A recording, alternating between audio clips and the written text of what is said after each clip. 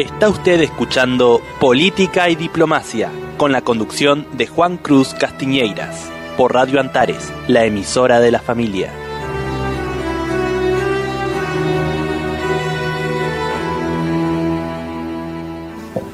Este domingo eh, se desarrollaron las pasos, las primarias abiertas simultáneas y obligatorias, y quedó demostrado el aluvión de votos peronistas. Y básicamente aquí en Argentina hay un bastión del peronismo donde el electorado y el sentimiento a la doctrina peronista es muy fuerte, que es la provincia de Formosa. Por eso estamos en comunicación telefónica con el dirigente peronista y diputado nacional por la bella provincia de Formosa, el licenciado Ramiro Fernández Patri. Ramiro, un gusto saludarte. Muy buenas tardes, Juan Cruz, un gusto saludarte a vos y a toda la audiencia de la radio. ¿Nos puedes eh, comentar qué pasó el, el domingo en, en, la provincia de Formosa, donde todos los formoseños le dieron respaldo al peronismo y sobre todo a este liderazgo indiscutido del gobernador Gildo Infram? Sí, la verdad que, que Formosa desde el año 83 viene siendo un bastión del justicialismo eh, el, líder eh, actual es el gobernador, el doctor Jim Infram, quien el 16 de junio pasado ha logrado ser reelegido por, por séptima vez en la provincia de Formosa, realmente un hecho inédito en la historia política de nuestro país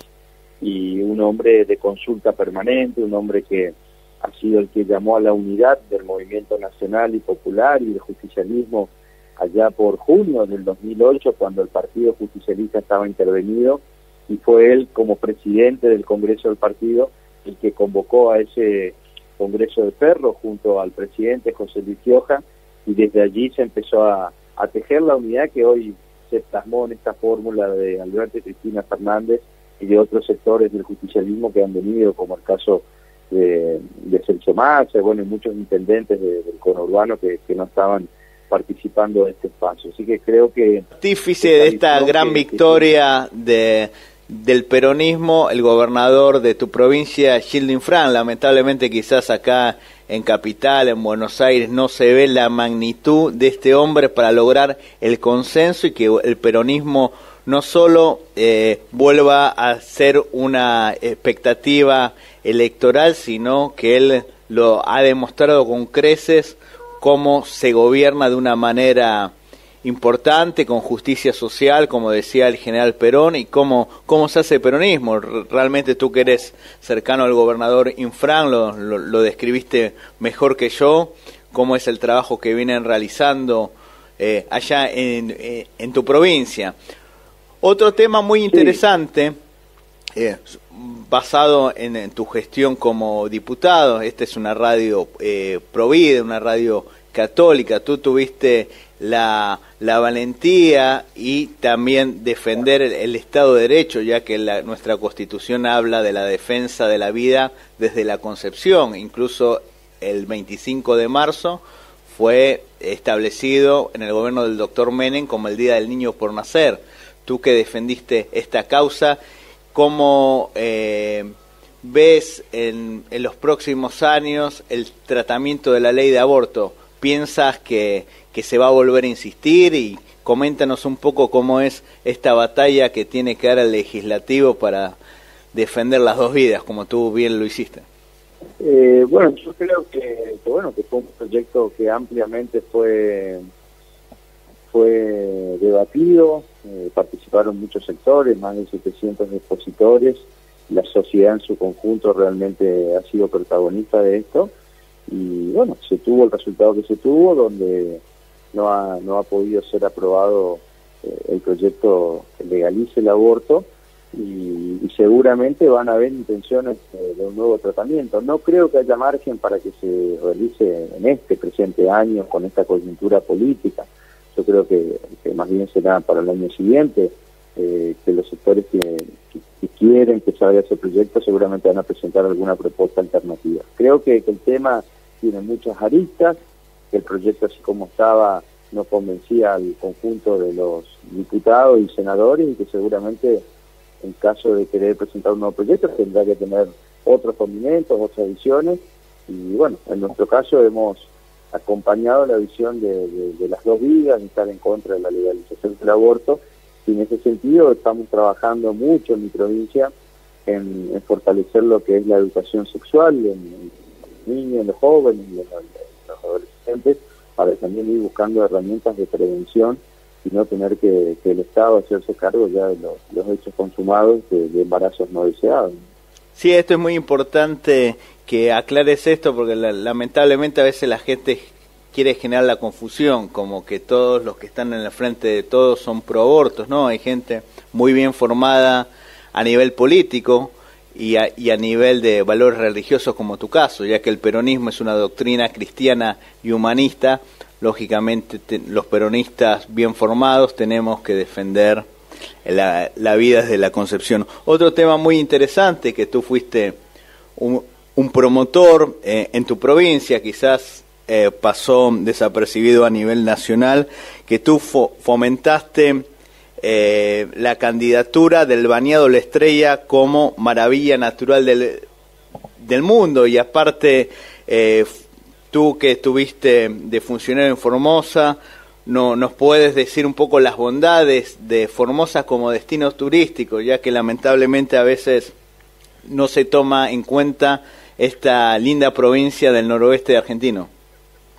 Sí, así es, eh, Juan Cruz. Eh,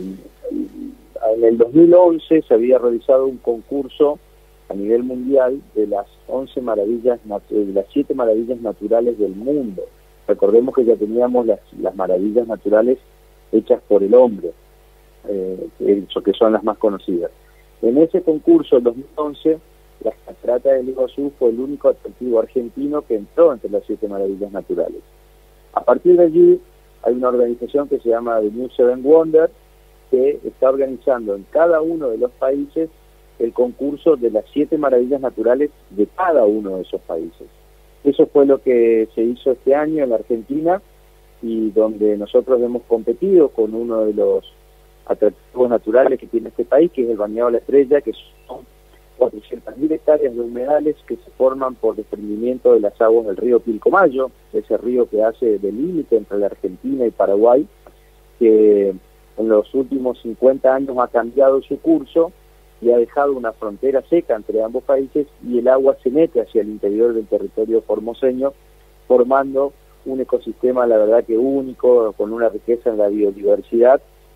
y que nosotros eh, estamos trabajando muy fuerte para ponerlo en valor turístico. Esta elección que ha hecho, que ha sido por voto de los de los participantes y que nos eligieron como una de las siete maravillas naturales de la Argentina, nos va ahora a fortalecer muchísimo porque los ojos de un mundo turístico que no estaban puestos en ese radar dentro de Formosa hoy lo están poniendo, estamos llegando con nuevos visitantes, nuevos inversores y estamos trabajando en la prestación de servicios, en inversiones, para realmente poder explotar eh, eso, cuidando la naturaleza, pero también generando oportunidades de empleo a las comunidades locales. Allí hay Guchito, Astilagá, comunidades criollas que viven eh, en zonas aledañas a Doñado y que están deseosos de poder recibir a turistas y poder generar empleo. Sí, así es. Lamentablemente a veces hay una concepción errónea que se ven a las provincias como Formosa como provincias alejadas o las últimas provincias de la Argentina y en realidad son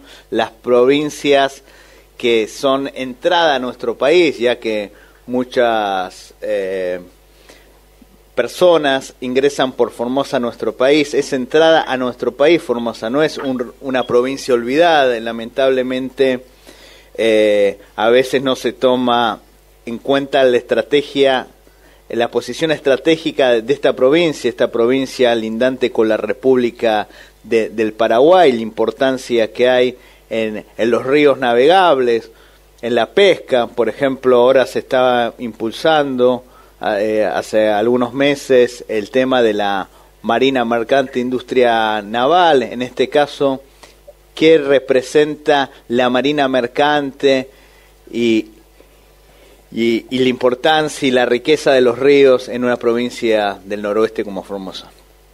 No, para nosotros es fundamental. Recordemos que hoy, para que las economías puedan ser competitivas, sobre todo las economías regionales, el gran costo se lo lleva el transporte de cualquier producto. Si nosotros abrimos la heladera de lo que tenemos, muchos de los productos vienen de otras provincias y, el transporte se lleva a veces más del 50% del costo, con lo cual poder disponer de vías navegables, que sabemos que es uno de los medios de transporte más económicos, sin duda es que hace que seamos mucho más competitivos para exportar productos como para también importar. Y en ese sentido nosotros estamos dentro de la hidrovía Paraná-Paraguay, es una vía muy importante, estratégica, que permite que, los productos que quieran ir hacia, hacia Europa o hacia, hacia Asia puedan bajar hacia los puertos del sur argentino por esta hidrovía y de ahí en barcazas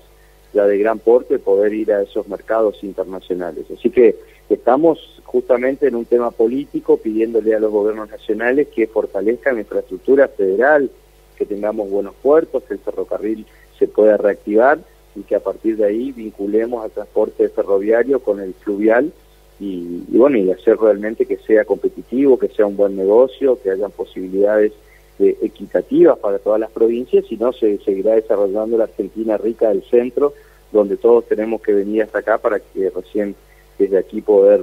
eh, vincularnos al mundo. Así que en ese sentido tenemos muchas expectativas en que haya el calado, el dragado, el arreglo de los, de los puertos para poder hacer mayor uso de esta hidrovía. Sí, puede venir parte del progreso económico desde tu provincia, por eso es muy importante que, que se tome seriamente el tema de la hidrovía, la marina mercante. Lógicamente, eh, tenemos que aprovechar las ventajas naturales que tiene Formosa y sobre todo el patriotismo. Recordemos que el patriotismo que, tienen los formoseños realmente es admirable en, todo el país. Muchos de ustedes lo, han demostrado, los soldados formoseños en, la gesta histórica y heroica de Malvinas, un pueblo de trabajo, un pueblo realmente pujante. Ojalá que